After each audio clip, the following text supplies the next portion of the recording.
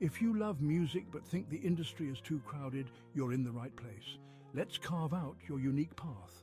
All right, aspiring artists, tip number one, be authentically you.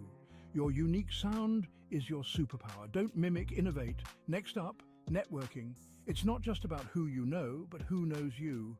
Show up to local gigs, join online communities, and collaborate with other artists. Third, master your craft. Practice makes perfect isn't just a cliche, it's your secret weapon. Dedicate time daily to hone your skills. Also, embrace social media. It's your stage, your radio and your TV channel all rolled into one. Post consistently and engage with your fans. Finally, never stop learning. The music industry is ever-changing, so stay curious and keep evolving. Remember, every famous artist started where you are now. Keep pushing, stay passionate, and soon enough, you'll be the next big thing. Catch you on the flip side, future stars.